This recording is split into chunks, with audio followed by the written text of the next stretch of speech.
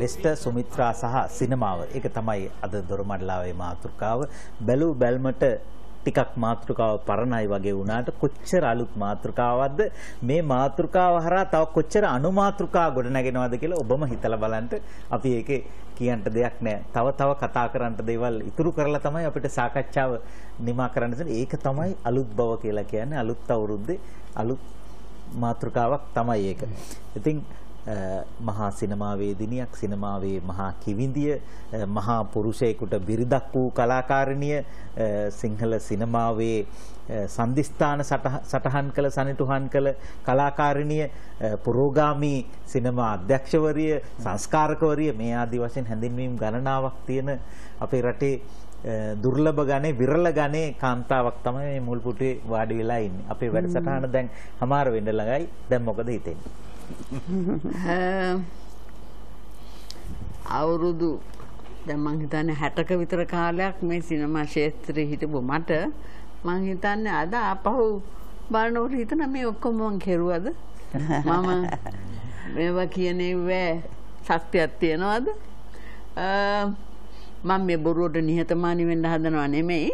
ඒ වුණාට මං හිතනවා ඇත්තටම මම කරපු දේවල් මේ තරම් මහජනයා තුළට එක විදියකට ජනප්‍රිය වෙලා පළක් වෙලාවට තක්ෂේර හොඳ නිර්මාණකරුවන් මාව තක්ෂේරු කරලා මගේ මගේ කෘති හොඳයි කියන තැනට එන ආව අවස්ථාවලදී මං හිතනවා මගේ ජීවිතේ අර්ථවත් ජීවිතය මං ගත කරලා තියෙනවා කියන එක මං හිතන්නේ මෙතෙන්දි මට ටිකක් පහළ වුණා. මගේ මගේ අවුරුදු දැන් අසුව පනපු කාලෙක ආපහු බලපුහම ජීවිතය මගේ ජීවිතය සිනමාව සිනමා මා පෝෂණය කෙරුවා. ඒකෙන් මං හිතන්නේ මගේ අත්දැකීම් බෙදා හදාගෙන මහජනයත් එක්කලා හෝ ප්‍රේක්ෂකයෙක් එක්කලා මං හිතන්නේ ඒ සුවදතාවය ඒ ආදරේ තමයි මට ඉතුරු වෙලා තියෙන්නේ. ඉතින් ඒකෙන් මං හිතන්නේ මං තෘප්තිමත් විය යුතුයි කියලා. ඉතින් මම ඔබතුමාටත් ස්තුති කරනවා මේ වගේ අවස්ථාවකට මේ අර ඕල්ඩ් වයින් නිව් බොටල්ස් වගේ මේකෙත් මං හිතන්නේ පරණ වුණත් මොකක් හරි දෙයක් වටිනාකමක් තියෙනවා මිනිසුන්ට ආපහු බලුවාම මේ අපේ ජීවිතවල අපිටත් මං හිතන්නේ අපි දෙන්නම විශේෂයෙන්ම ලෙසපීරිස්ගේ අනු නම වැනි අවුරුද්ද. ඔහුත් මං හිතන්නේ හුඟක් වෙලාට කල්පනා කරනවා ඇති.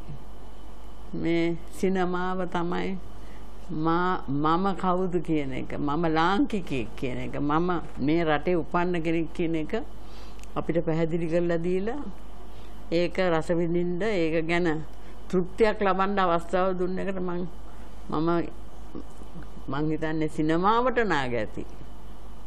මාව සොයාගත්තට. අජිත් ගලප්පත්ති මහත්මයා ඔබත් මාත් වාසනාවන්තයි භාග්‍යවන්තයි. මේ වගේ තුන් දෙනෙක් මැදි කරගෙන මේ සාකච්ඡාවක් කරන්න ලැබීම මුලින් වාඩි වෙලා ඉන්නවා සුමිත්‍රා පීරිස් මහත්මිය දෙවෙනියට වාඩි වෙලා ඉන්නවා හෙළ සිනමාවේ නිලි රැජින. ඊළඟට වාඩි වෙලා ඉන්නවා මාධ්‍ය ලෝකයේ විශ්වකෝෂයේ බඳු ජ්‍යෙෂ්ඨතම මාධ්‍යවේදියා. එඩ්වින් ආරිදාස් මහත්තයා. ඉතින් අපි භාග්‍යවන්තයි. අපේ ජීවිතේ මෙහෙම අවස්ථාවක් ලැබීම පිළිබඳ මාල්නි ෆොන්සේක මහත්මිය. ඔව්. ඇත්තටම අද මම දොරමඩලාව හැමදාම බලනවා. නමුත් අද මේ දොරමඩලාව කියන්නේ මට මට මගේ ජීවිතය මගේ සිනමාව මගේ ලෝකේ මගේ වීරය ගැන කතා කරා කියන හැඟීමක් ඇති වෙන්නේ. ඇත්තම හරිම කාලීන මාතෘකාවක් ස්වාධීන රූපවාහිනී ආයතනයේ මම හිතන්නේ අද තෝරගත්ත විශේෂයෙන් ඔබතුමා තෝරගෙන කතා කරපු එක අපිට හරි අපේ සිනමාවට හරි ආඩම්බරයක්. මොකද ශ්‍රී ලංකේ සිනමාවට දැන් මේ 70 ඉවරයි 71 ලබන්නේ. ඉතින් ඒ අතර අපේ ඉන්න අපි පීතෘ තනතුරෙන් අදහන. ආචාර්ය ලෙස්ටර් ජේම්ස් පීරිස් ඒ වගේ මාතෘ තනතුරෙන් අපේ සිනමාවේ දාන සුමිත්‍රා පීරිස් මැතිණිය ගැනත් කතා කරන්න මේ මාතෘකාව තෝරගත්ත එකත් ඒ වගේම ඒ ගැන පොඩි වචනයක් හරි කතා කරන්න මට මෙතෙන්ට වාඩි වෙන්න ආරාධනා කරපු එකත් හරිම හරි ලොකුම වාසනාවක් හරි සතුටක් අද. මං හිතන ඒ වගේම තමයි මේ පැත්තේ හිතුවොත් මේ මහා ප්‍රාග්ඥයෙක් එක්ක කතා කරන්න අපි බොහොම නිකන් සුළු අය. එහෙම නෙමෙයි. අපි අගය කරනවා ඔබතුමියගේ මේ ශ්‍රී ලංකාවට කලාත්මක වශයෙන් කරපු දායාදේ අපි හැම විටම අගය කරනවා. ඒක නිසා නිකමට නෙමෙයි රැජින කියලා කියන්නේ. නේද අපි ජීවිත අර්ථවත් වෙනවානේ මේ වගේ ඇවිල්ලා කතා කරන එක. ඒ වගේම අද මේ නරඹන අයත් දැනුවත් වෙන්න ඕනේ අපේ නව පරපුර අපේ අනාගත පරපුර ශ්‍රී ලංකීය ඉදිරියට එන ශ්‍රී ලංකීය සිනමාව ගැන ඇල්මක් උනන්දුවක් තියෙන අය මේවත් ගැන දැනුවත් වෙන්න ඕනේ. ඉතින් මෙවැනි සාකච්ඡාවල් හරීම වටිනවා. විශේෂයෙන් අපේ අනාගත පරපුරට මේ සිනමාව ශ්‍රී ලංකීය සිනමාව කියන්නේ මොකද්ද කවුද ඒවයේ පුරෝගාමින් කියන එක මේ හැම එකක්ම දැනුවත් වෙන්න ඕනේ අලුත් පරපුර. ඉතින් මම හිතනවා අද මේ සාකච්ඡාව හරීම වටින දෙයක්. විශේෂයෙන් ඔබට මම ස්තුතිවන්ත වෙනවා ආරාධනා කරපු එකත් ඒ වගේම ස්වාධීන රූපවාහිනී ආයතනයටත් ස්තුතිවන්ත වෙනවා. ඔබ දිය තනතුරේ ලැබුවා. තාත්තා අම්මා ගැන කතා කරන අවුරුද්දේ කතා කරන තාත්තා අම්මා ගැන අපි සිනමාවේ අම්මා තාත්තා ගැන කතා කරන්න අවුරුද්ද අලුත් අවුරුද්දේ වැඩසටහනට වෙන් කළා. ඉතින් ඒක කිසිම අසාධාරණයක් නෑ නේද? හරි ලස්සනයි කතාව. ඔව්.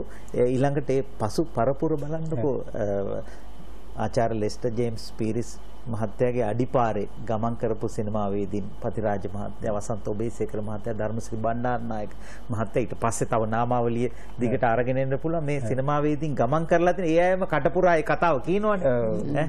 ඒ පසු පරපුරේ හැම දෙනාම කියනවා අපේ තාත්තා. මේ මේ මේ මෙතුමා තමයි කියලා හැම විටම කියනවා. ඉතින් එහෙම කෙනෙක් ගැන තමයි කතා කළේ. අම්මා මේ ඉන්නේ. අජිත් ගලපති ඔව් මට හිතෙන්නේ පිරිස් මහත්මිය කියපු එක වචනයක් අර පරණ වයින් සහ අලුත් බෝතලය කියන එක ওই දෙකම අන්ත දෙකම අපිට ඕනේ. අපි හැම වෙලෙම අපි නවීනත්වයට යන්නේ නවීන ලෝකයට යන්නේ මේ සම්ප්‍රදායත් එකතු කරගෙන. ඉතින් අර මෙතුමියගේ සිනමාවෙත් පිරිස් මහත්මයාගේ සිනමාවෙත් තියෙන්නේ අපේ ජීවිතේ එකතු කරන හරි හැඟීම් බර දේවලුත් ඒ සිනමාවේ තියෙනවා බොහොම ගැඹුරු දේවලුත් ඒ සිනමාවේ තියෙනවා. ඉතින් අර අපි බොහොම හැඟීම් බර වෙන්න සංවේදී වෙන්නත් අපි කැමති ප්‍රේක්ෂක විදිහට අනිත් පැත්තෙන් අපේ ජීවිතේට බොහොම බුද්ධිමත් දේවල් එකතු කරගන්නත් අපි පොඩි කැමැත්තක් තියෙනවා.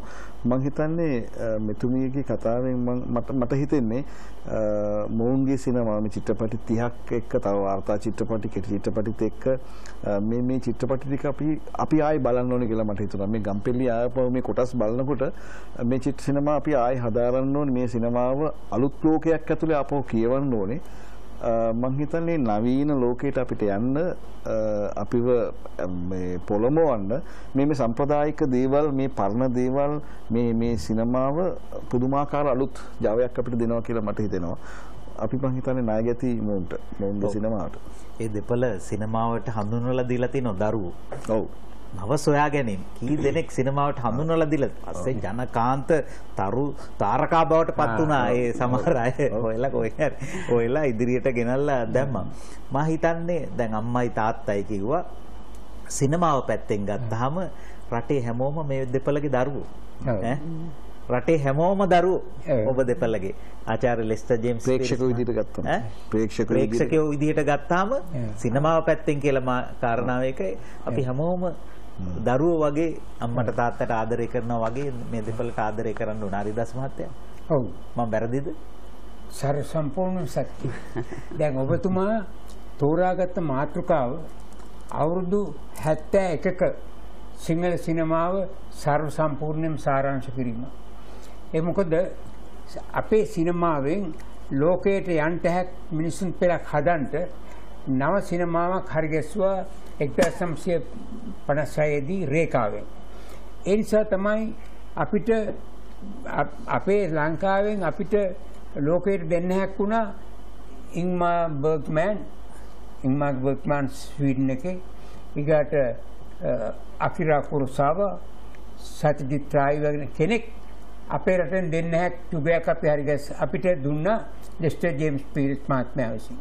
ඒ ලෙස්ටර් ජේම්ස් ප- පීරිස් මහත්මයා අර ලෝකයෙන් තෑගි දිනා ගන්න හැක් ලෝකයේ නාමයක් කියන්න හැක් සිනමා කලාවකට අත්පොර තිබ්වා. නම් 56 දී. ඒ මාර්ගයේ ගිය මෙතුමිය. ගිහිල්ල ඉවරලා හරි ගැස්සුවා දැන් නොදැනුවත්ම එතුමා එතුමිය කළා තියෙන්නේ නවීන ලෝකයේ ඊටාම පුතුලව පවත්න නව සිනමා මානයට අපි එක ගියා. සිනමාව දේ- ඉස්සර අපි තාත්විකය කිව්වේ මිනිසුන් පිළිබඳ කතාවලනේ. මිනිසුන් පිළිබඳ කතාවලින් ඔබේ තියෙන මනක්කල්පිතය දේවත්වය ඒ සියල්ලම අදයුගේ මිනිසාගේ අර නොයුසිලිමත් සමාජයට ගැලපෙන විදිහට අරගෙන ඒ මිනිස්සුන්ට මේ අද අර සසර වන ජීවිතවලින් ඔබට යන දේවත්වයට සුසු කතාවක් හරි ගැස්සුවා. මේ තව ප්‍රශ්නයක් ඇති වෙනවා. දැන් ඔබතුමිය රූකඩයක් සූපී නිලියක් බවට පත් වෙනවා පෙන්වනවා. නිර්මල ධර්ම යශෝද යසුදා නිර්මල ධර්ම නිලිය.